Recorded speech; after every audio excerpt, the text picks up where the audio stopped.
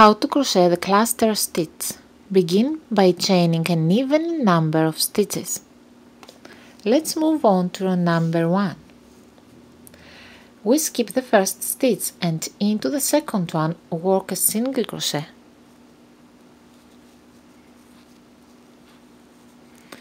Work a single crochet into the next one.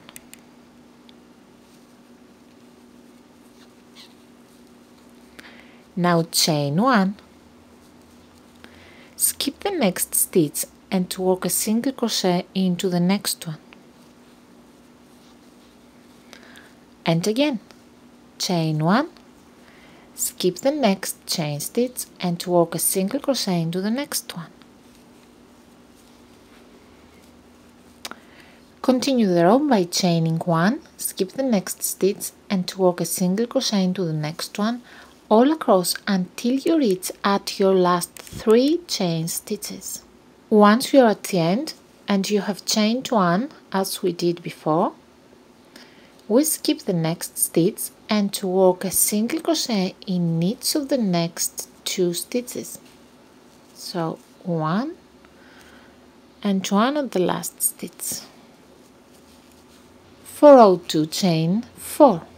1, 2, three, four. This chain of four counts as a double crochet and chain one. Turn your work. Now we will work into the chain one spaces from the previous row.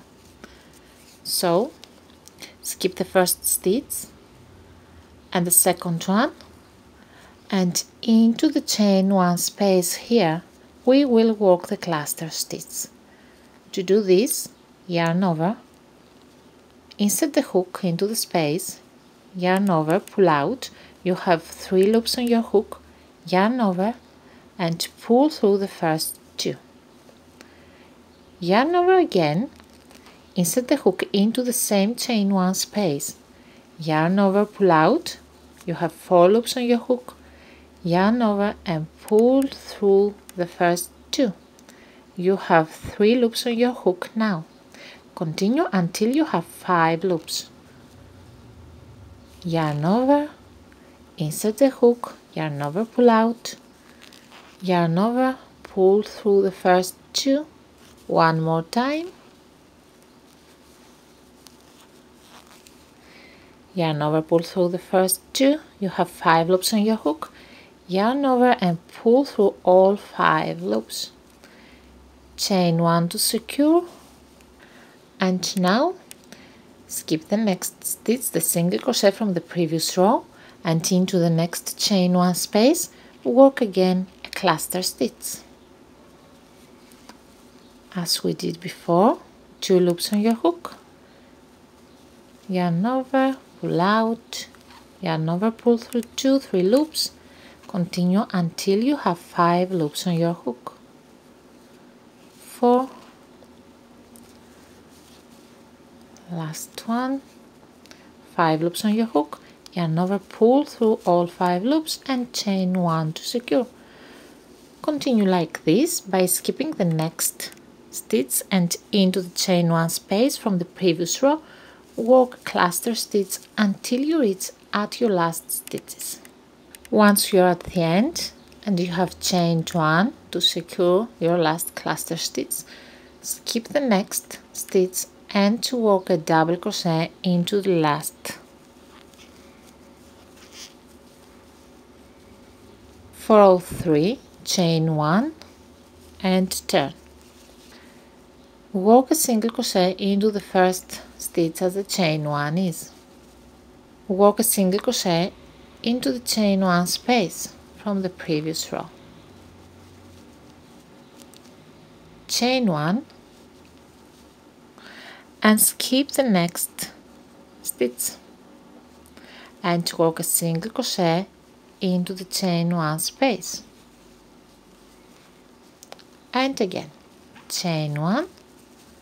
Skip the next stitch the top of the cluster stitch and work a single crochet into the chain one space. Continue the row by chaining one. Skip the next stitch the top of the cluster stitch and work a single crochet into the chain one space from the previous row all across until you reach at your last stitches. Once you are at the end, you have chained one here, you skip the next stitch and you work a single crochet into the next one, the top of the cluster stitch and you will do the last single crochet into the third chain. One two three. Here.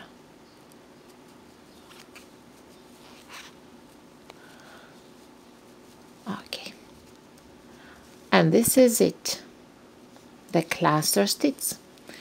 What you have to do now is to repeat rows 2 and 3 until you reach your desired length. And this is how your project should look like after a few repeats. I hope you enjoyed this video. If you did, please don't forget to subscribe to my channel for all my new videos. Put the like button below and share the video. I'll see you in my next video. Bye bye.